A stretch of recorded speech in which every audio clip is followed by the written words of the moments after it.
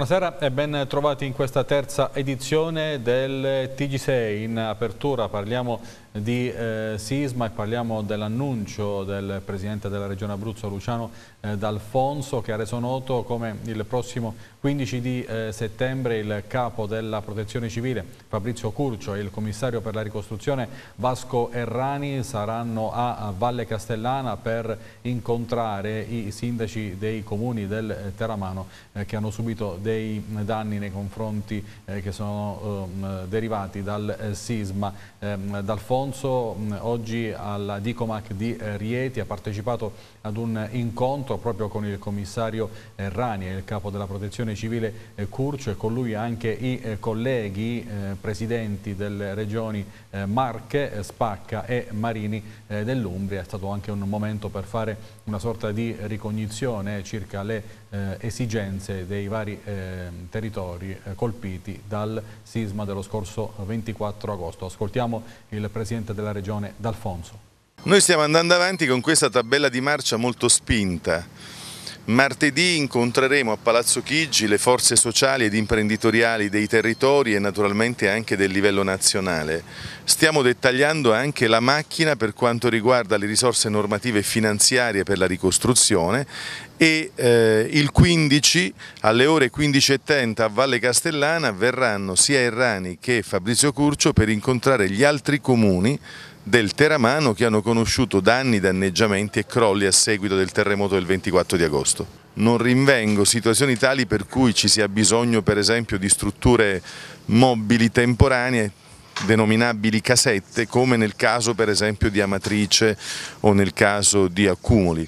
Noi opereremo nella dettagliata descrizione dei danni per fare in modo che ogni danno dove anche si verifica puntualmente, anche a distanza di quelli che sono stati i fuochi eh, dei danneggiamenti sismici, anche quei danni puntuali fuori dalla realtà del cratere troveranno copertura amministrativa e finanziaria. Io sono molto riconoscente alle realtà di protezione civile che hanno saputo animare le due realtà villaggio che hanno accolto cittadini che hanno dovuto abbandonare le proprie abitazioni o perché crollati o perché inagibili.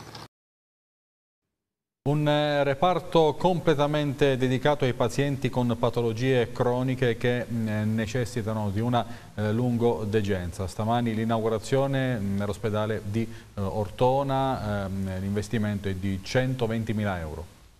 Procede il riordino della sanità in Abruzzo dopo le polemiche che si erano sollevate, le preoccupazioni di chi vedeva togliersi dal proprio territorio interi reparti. Ortona oggi inaugura un reparto dedicato esclusivamente alla lungodegenza. Il concetto, portato avanti sin dall'inizio, è stato quello di evitare sovrapposizioni in più territori e dedicare invece pertinenze specifiche ai poli ospedalieri. È un reparto nuovo ed è uno di una lunga serie perché abbiamo inaugurato ginecologia oncologica, oggi lungodegenza, prossimamente ci sarà anche la dermatologia oncologica, la riabilitazione e tanti altri servizi. L'idea finale e conclusiva è quella di dire io scendo in campo con 11 giocatori che non siano 11 difensori, che erano i vecchi presidi abruzzesi, tutti a fare le stesse cose con numeri diversi e qualità scarsa. Invece l'idea è dare a ognuno una sua vocazione. Il nuovo reparto, costato 120.000 euro all'ASL di Vasto Lanciano Chieti, offrirà già dalla prossima settimana ospitalità con 24 posti letto, dotati di tutte le più recenti innovazioni del campo, a partire dai letti completamente automatizzati, materiali tecnici per evitare le complicanze dei lunghi periodi costretti a letto, un salottino pensato per gli incontri con i visitatori, la ripavimentazione dell'intera area e la consapevolezza di poter gestire più appropriatamente un campo carico di pazienti che nel 2015 ha raggiunto le 1500 unità. Si tratta infatti di un modulo assistenziale connesso strettamente alla geriatria e a tutte le patologie definite croniche. Ortona oggi è il presidio abruzzese con il più alto eh, tasso di mobilità attiva, cioè viene la gente da fuori, qui a Ortona, dalle altre regioni e dalle altre province per farsi curare, soprattutto per i servizi oncologici connessi al femminile purtroppo, ma insomma così come ci sono i problemi il sistema sanitario con qualità come qui a Ortona deve caricarsi di risolverli. Il Movimento 5 Stelle ha presentato un video definito shock sullo stato di salute del fiume Pescara, parlando di anni e anni di incuria da parte delle amministrazioni locali. Pettinari, attraverso un video avete mostrato le condizioni in cui oggi è il fiume Pescara, avete definito questo un video shock, perché? Sì, intanto voglio ringraziare l'autore che è un simpatizzante del Movimento 5 Stelle, Lorenzo Bosi, un cittadino, un semplice cittadino che ha fatto quello che avrebbe dovuto fare lo Stato, quindi quando i cittadini si sostituiscono allo Stato è una grandissima cosa. È un video shock perché documenta dall'Aquila a Pescara, dal fiume Aterno al fiume Pescara, tutti gli scarichi abusivi è allarmante perché ci fa vedere tutti questi scarichi abusivi ogni 100 metri con acqua nera, acqua putrida, acqua schiumosa che va e impatta all'interno del nostro fiume che ho anche delle trote, dei pesci, lui documenta morti, senza vita e in alcuni tratti non c'è proprio vita per centinaia e centinaia di metri. Quindi io dico, ma è mai possibile che questo problema c'è da decenni e le varie amministrazioni che si siano succedute non sono mai riusciti a fare una mappatura millimetrica e puntuale come ha fatto questo cittadino e soprattutto intervenire con le forze di polizia a disposizione per sanzionare e stoppare queste immissioni, perché le forze di polizia senza ombra di dubbio si sono mostrate sempre a disposizione, ma era la politica a doverle utilizzare con forza per poi andare a bloccarle definitivamente. Invece torniamo ancora oggi a parlare di queste cose. Il Presidente della Regione in campagna elettorale aveva promesso ai cittadini fiumi più belli e più puliti, tutto il contrario questa è la realtà, perciò è drammatico. Allora noi diciamo, noi abbiamo presentato diversi atti in regione per risolvere questo problema, abbiamo le nostre proposte che non vengono ascoltate. Siamo disponibili a metterci attorno a un tavolo se loro ci chiamano anche a fare proposte migliorative per andare avanti. Bisogna rimboccarsi immediatamente le, ma le, le, le maniche perché il problema è serio. E ora andiamo a Teramo, il sindaco Maurizio Brucchi dopo la riunione con i dirigenti ehm, scolastici svoltasi in mattinata ha ufficializzato la data di riapertura eh, delle scuole eh, comunali. Si torna sui banchi eh, il prossimo 19 settembre.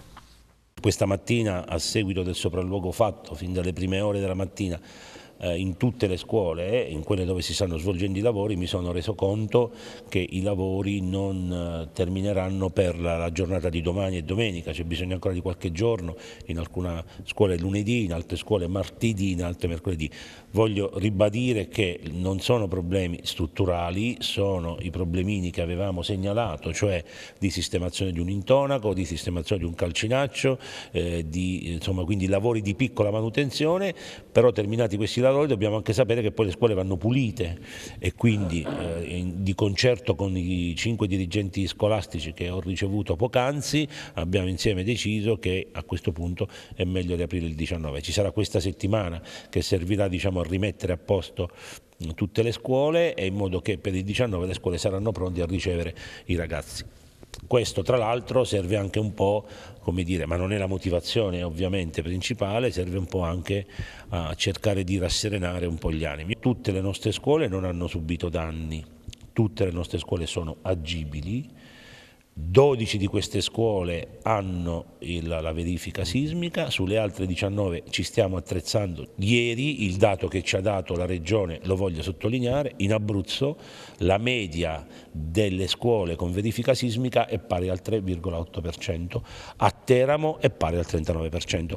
Questo non è che mi solleva da, dire, da quello, per, per quello che c'è da fare, assolutamente, però questo fa capire che noi abbiamo lavorato, se la media delle le scuole in Abruzzo eh, che hanno la verifica se non è, sotto il 4%, noi siamo vicino al 40%, insomma vuol dire che tutto sommato in questi anni ci siamo dati da fare che, che ne dicano poi gli altri, però questo adesso mi interessa attivamente. Il comune di Chieti è intervenuto sul caso della sicurezza nelle scuole. Questa mattina è stato fatto un rendiconto di tutti gli interventi operati fino ad oggi. Adeguamenti, messa in sicurezza e analisi degli esperti per una spesa complessiva di 10 milioni di euro.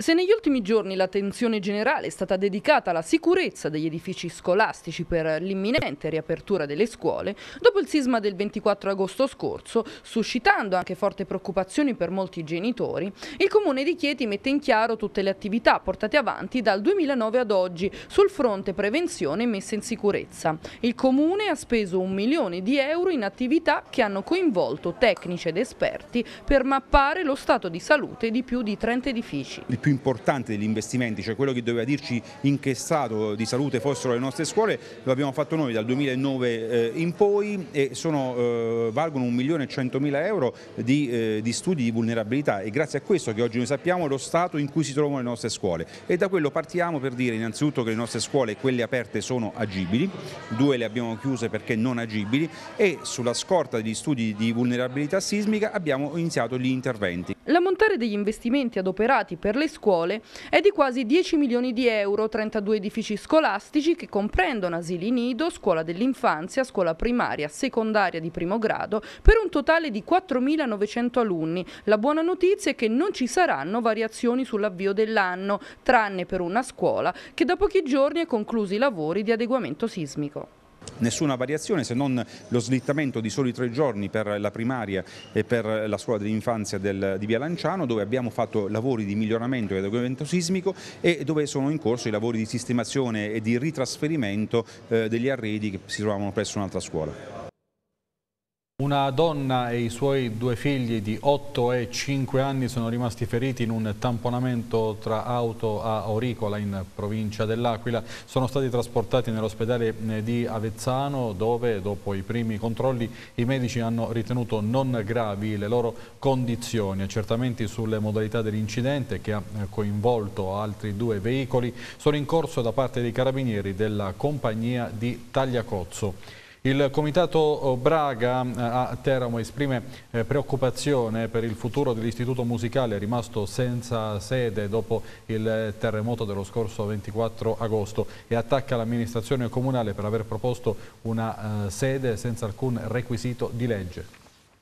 Il Comitato Braga esprime preoccupazione per il futuro dell'Istituto Musicale che dopo il terremoto dello scorso 24 agosto si è visto sparire a causa dei danni provocati dal sisma sia la sede storica di Piazza Verdi sia l'edificio del Comi dove temporaneamente svolgeva la parte didattica. Sicuramente non ci aiuta l'atteggiamento dell'amministrazione comunale, dichiarato il presidente del Comitato, che invece di dare una mano continua a proporre una sede come il Parco della Scienza che non ha alcun requisito né di legge né logistico per ospitare ospitare un conservatorio. E tantomeno si riesce a parlare in città di una, di una scuola come la Molinari che attualmente è vuota e che eh, paradossalmente viene pensata come soluzione per delle scuole in difficoltà. Quindi prendiamo atto che il conservatorio per il sindaco di Teramo non è una scuola. L'istituto ha fatto una richiesta al demanio perché è stato individuato nell'ex archivio nella zona di Porta Romana una, una possibilità concreta visto che ha tutti i requisiti e attualmente è vuoto sostanzialmente, però eh, i tempi burocratici non sono veloci. Vogliamo eh, mettere in evidenza anche le difficoltà dell'utenza che si trova a dover eh, spostarsi nella, nella, momentaneamente insomma, nella sede di Giulianova che è stata individuata come pagliativo per mantenere una continuità didattica. Questa situazione rischia di protrarsi e sta creando grossi problemi anche in termini di iscrizioni per, per l'anno che, che, sta arrivando, quindi questa è la prima cosa. Poi eh, tra l'altro volevamo ribadire questa assoluta eh, impossibilità a prendere in considerazione la sede del Parco della Scienza come, come idea. Inoltre anche una proposta da fare al Consiglio di amministrazione, cioè quella di esonerare come ha fatto l'Università di Teramo, ad esempio eh, ragazzi che provengono dalle zone del, del, sisma per quanto riguarda il pagamento delle, delle rette, potrebbe essere un bel segnale. Grazie ad un bando della Presidenza del Consiglio dei Ministri ci saranno 18 milioni di euro per la riqualificazione urbana delle periferie, importante la eh, sinergia tra soggetti pubblici e privati. Sindaco Alessandrini 18 milioni di euro grazie ad un bando della Presidenza del Consiglio per riqualificare le periferie urbane, in questo caso le periferie della città di Pescara. È un bando molto importante che la Presidenza del Consiglio dei Ministri ha licenziato a fine maggio. Ci sono complessivi 500 milioni, 18 per eh, città capoluogo di provincia. La città di Pescara naturalmente partecipa con l'ambizione di vincere a questo bando, lo fa avendo sviluppato forme virtuose di partenariato con i soggetti pubblici e con i soggetti privati e il concetto è che questi 18 milioni sviluppano interventi per complessivi 58. Gli ambiti sono quelli della riqualificazione della sicurezza delle periferie, una scelta non casuale visto che le periferie sono luoghi molto sensibili del terzo millennio. Abbiamo coinvolto professionalità interne ed esterne del Comune, abbiamo lavorato nel mese di agosto, abbiamo inviato il progetto il 29 di agosto. Attendiamo naturalmente i tempi della Presidenza del Consiglio Consiglio per esaminare questo progetto e gli altri progetti che senz'altro arriveranno dalle città e siamo naturalmente ottimisti perché abbiamo svolto un lavoro senz'altro di qualità volto ad assicurare quella che Renzo Piano definirebbe la ricucitura e il rammendo urbano. Riqualificazione urbana, ma parlando di eh, periferie, anche un recupero sociale di queste zone. Penso al fatto che oggi noi dobbiamo confrontarci con una società complessa che fa i conti con un terrorismo globale e questo terrorismo in Europa, in tutta l'Europa, si sviluppa proprio nelle periferie, l'abbiamo visto a Parigi, l'abbiamo visto a Bruxelles. Certamente Pescara non ha di questi problemi, ma è ugualmente importante procedere con interventi che abbiano naturalmente una valenza inclusiva sociale così importante. La Regione Abruzzo stanzia 200.000 euro per sostenere le iniziative di protezione civile locale. È aperta la presentazione dei progetti. È possibile presentare i progetti per la concessione dei contributi alle unioni di comuni per la creazione e il rafforzamento dell'ufficio unico di protezione civile. La Giunta regionale ha infatti approvato l'avviso pubblico relativo. Il documento si prefigge di incentivare e sostenere le politiche di associazionismo tra i piccoli comuni attraverso la gestione di servizi con una copertura finanziaria pari a circa 210.000 euro sarà possibile presentare un solo progetto che può essere finanziato per un importo non superiore a 20.000 euro, da concludersi entro il 31 dicembre 2017. Attraverso l'ufficio unico, i comuni dell'Unione prendono in considerazione i rischi potenziali per la popolazione, le infrastrutture e il territorio, stabilendo l'organizzazione delle risorse in termini di persone, mezzi e materiali e le modalità per svolgere le attività di pianificazione operazione di protezione civile e di coordinamento dei primi soccorsi. L'organizzazione è calcolata sulla realtà dei comuni dove sarebbe impossibile realizzare una struttura di protezione civile autonoma. In quest'ottica si lascia quindi all'ufficio il compito della gestione delle attività tecnico-organizzative. I sindaci restano comunque responsabili della gestione dell'emergenza nel proprio territorio. Con questo provvedimento, ha detto il sottosegretario alla protezione civile della Regione Abruzzo Mario Mazzocca, intendiamo sostenere le politiche locali di promozione e associazione tra piccoli comuni, rafforzando la loro capacità istituzionale e amministrativa per gestire l'emergenza. Stiamo all'Aquila perché entra in consiglio la nuova eh, consigliera di parità. La disuguaglianza di genere nelle politiche del lavoro sarà il punto di partenza.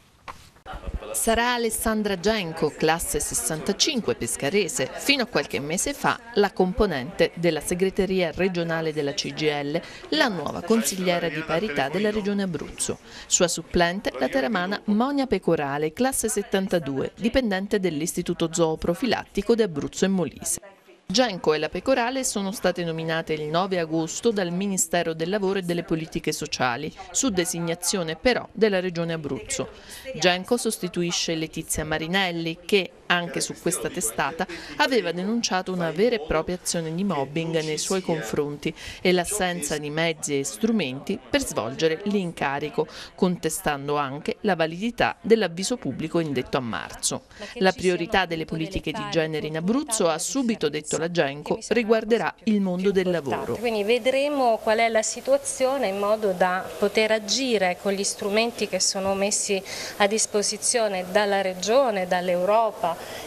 e eh, dalla pari opportunità nazionale per verificare quindi una situazione e costruire un progetto di azioni che sono le famose azioni positive per far sì che tutte le discriminazioni nei luoghi di lavoro vengano meno ma questo riguarda anche la violenza sulle donne che è un punto fondamentale. Nei luoghi di lavoro c'è violenza in alcuni casi eh, viene denunciato in altri no quindi è un ambito assolutamente ampio, quindi è la conoscenza quello che per il momento è la mia priorità. Marinella Sclocco, entrando nel merito, ha elencato dunque gli strumenti finanziari per dare concretezza a queste politiche di parità oltre alle normative che esistono eh, già sulle pari opportunità, uno strumento finanziario è l'FSE. Con l'FSE abbiamo già previsto diverse misure a favore delle donne. Intanto per esempio c'è il microcredito, con il microcredito nel, negli ultimi due anni eh, diciamo, abbiamo voluto eh, usare questo strumento cercando di aiutare le donne escluse dal mondo del lavoro con un'età eh, diciamo adulta, che sono le più complicate da reinserire e che sono quelle che hanno più probabilmente una famiglia sulle spalle. Ora torniamo ad occuparci eh, di una vicenda molto attuale a Pescara, ovvero il taglio degli alberi. Questa mattina se ne è parlato in Commissione Controllo e Garanzia, la presenza anche delle associazioni ambientaliste. Ho voluto convocare questa commissione proprio per trattare un argomento che in questi giorni va per la maggiore in città perché questa vicenda è veramente inquietante l'amministrazione che sta tagliando alberi a tutto spiano senza un effettivo controllo, soprattutto pini che sono la storia di Pescara. Ecco, vogliamo capire perché c'è questa operazione eh, che si sta portando avanti a tamburo battente senza ascoltare le associazioni, senza ascoltare i cittadini, senza ascoltare i consiglieri comunali che hanno preso una posizione chiara perché questa vicenda vicenda può essere gestita nella maniera migliore, non in maniera improvvisata come si sta facendo. Sì, c'è questa relazione di cui si parla, ma mi sembra che ci siano relazioni altrettanto importanti che dicono che forse questi alberi non dovevano essere tagliati e che di fronte a una situazione tale per cui eh, ci sono delle zone che, in cui gli alberi, i pini sono rappresentativi di una storia della città, bisogna andarci con i piedi di piombo. Ecco, eh, chiediamo al sindaco di evitare queste posizioni oltranziste. Io l'ho definito scherzosamente Attila in questi anni perché con la vicenda del mare o altre vicende eh, sicuramente lui non sta facendo gli interessi della città, però sulle piante e sui pini veramente sta esagerando. Abbiamo convocato anche le associazioni eh, che si interessano di ambiente perché loro hanno preso chiaramente una posizione eh, definita, ma eh, credo che questa sia la posizione di tutti i cittadini di Pescara. È morto a eh, Boiano, in provincia di Campobasso, eh, sua città natale. Monsignor Antonio Nuzzi aveva 90 anni. Nuzzi era stato eletto vescovo nel 1981 e guidò la curia di eh, Conza, Nusco e Sant'Angelo dei Lombardi in Campania negli anni successivi al tragico terremoto dell'Irpinia. Dal 1988 al 2002 invece fu vescovo della diocesi di Teramo Atri in Abruzzo. Dopo essere andato in pensione si era ritirato appunto nella sua eh, Boiano dove è morto e dove eh, domani, eh, sabato alle ore 11, saranno eh, celebrati i funerali. Ed ora apriamo la pagina eh, sportiva e parliamo di questa antivigilia di Pescara-Inter che non sarà una partita eh, qualunque per il difensore biancazzurro Cristiano eh, Biraghi che ha fatto tutta la trafila delle giovanili dell'Inter ed è lui stesso a confermarlo. Per me è una partita speciale ma nessuna vendetta nei confronti della società nerazzurra. Ascoltiamolo. È stata la mia squadra per tanti anni, la squadra della mia città e la squadra per cui, squadra per cui ho tifato e per cui comunque tifo. No, non c'è rivalsa, sicuramente una partita, è sempre una partita di calcio come tutte le altre, però come tutte le altre non è perché comunque, è, ripeto, è una squadra che è stata per tanti anni la mia squadra, quindi è una partita un po' speciale. Beh, sicuramente sarà una partita difficile perché l'Inter non è partita bene perché ha avuto, hanno avuto i loro problemi con gli allenatori, cambio di allenatore prima di iniziare il campionato, che non è facile. Un allenatore che ha la prima esperienza in Italia, che comunque credo non parli la lingua, quindi farà anche fatica a comunicare e, e che comunque il lavoro che ha portato eh, il lavoro di un allenatore ci vuole sempre un po' di tempo per vederlo. Adesso hanno avuto due settimane per lavorare sarà una partita difficile perché ha grandi giocatori, grandi nomi l'Inter, quest'anno si è, si è rafforzata tanto e credo che sia appena al di sotto della Juve come, come qualità di, di giocatori. E quindi sarà una partita difficile, molto difficile. Candreva è uno dei giocatori italiani più forti e più in forma in questo momento.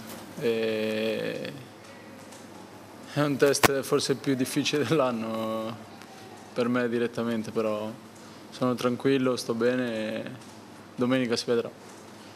Certo, noi siamo una squadra forte, siamo una squadra forte che impronta tutto su, sul piano del gioco e abbiamo messo in difficoltà il Napoli, abbiamo messo in difficoltà forse ancora di più il Sassuolo, che secondo me era, era ancora più difficile del Napoli come partita, perché il Sassuolo arrivava già da 5-6 partite ufficiali dove non aveva mai perso e, e dove comunque anche loro improntano tutto sul gioco e mettono sotto tutti. Noi invece dal primo all'ultimo minuto credo abbiamo fatto una partita di grande spessore.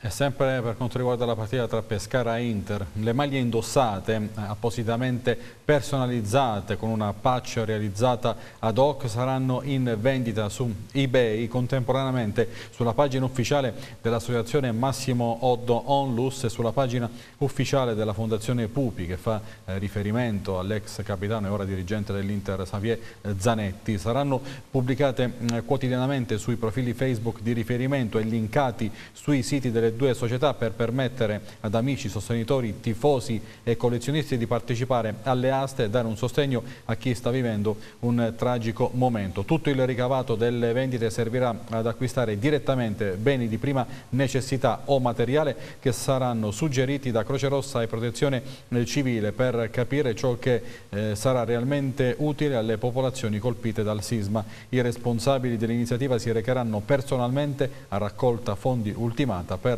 consegnare quanto acquistato.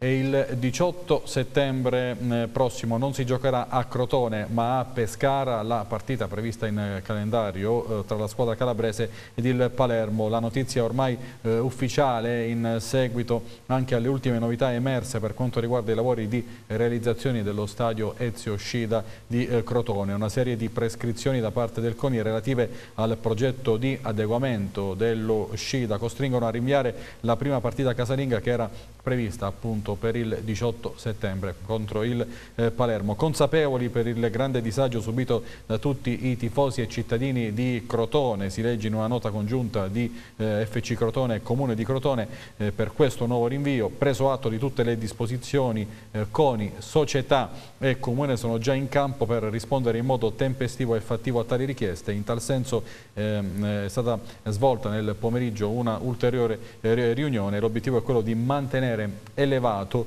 il ritmo dei lavori, così come si sta già facendo, per consegnare l'impianto alla città nel più breve tempo possibile. E ora scendiamo in eh, Lega Pro perché questo è un venerdì di vigilia in vista della gara eh, di domani per il Teramo alle 18.30 allo stadio Bottecchia di eh, Pordenone. Oggi seduta di eh, rifinitura, non sono stati convocati dal tecnico eh, Zauli oltre a Orlando e Cericola neanche i centrocampisti eh, di Paolo Antonio e Carraro. Si profila dunque la conferma del 4-3-3 con l'inserimento di Petrella tra i primi 11 e la conferma di eh, Croce al centro dell'attacco. Tra i friulani il tecnico tedino recupererà dopo la squalifica eh, Burrai e sembra intenzionato a confermare i 10 undicesimi della squadra vincente a Forlì. Ascoltiamo ora l'allenatore del eh, Teramo ed ex della partita, ex allenatore del Pordenone, Lamberto Zauli.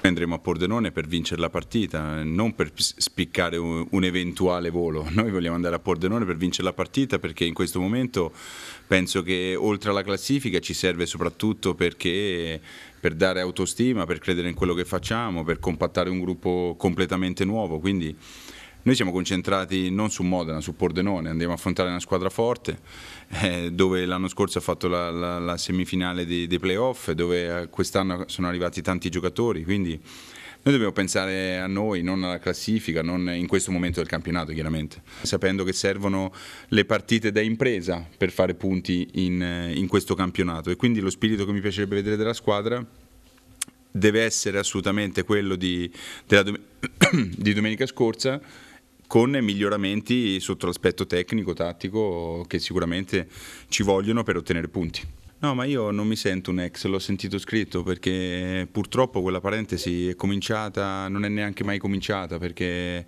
sin dall'inizio andai a parlare col presidente, lui dopo aver parlato con tante persone, dopo un quarto d'ora decisi, decise che ero io l'allenatore, poi ci furono tanti problemi da subito e infatti insomma dopo pochissime partite finì, finì il rapporto, quindi eh, sono stato lì, è stata una, una, parentesi molto negativa professionalmente, ma sotto il profilo dell'esperienza molto utile. E quindi come tutte le cose mi piace guardare sempre il bicchiere mezzo pieno e quindi è stata un'esperienza per la mia crescita positiva anche questa brevissima di Pordenone. Non, non cado nelle provocazioni, io penso che questo, il modulo che abbiamo fatto col Bassano ci dia un po' più di compattezza rispetto, rispetto a, a quello che avevamo fatto nelle partite precedenti e quindi pensiamo di continuare così, abbiamo valutato anche un'altra alternativa che non dico, se no capace me la fibbia al vicepresidente o... Era questo l'ultimo servizio del TG6 che torna domani con la prima edizione delle ore 14. Grazie per l'attenzione. Buonanotte.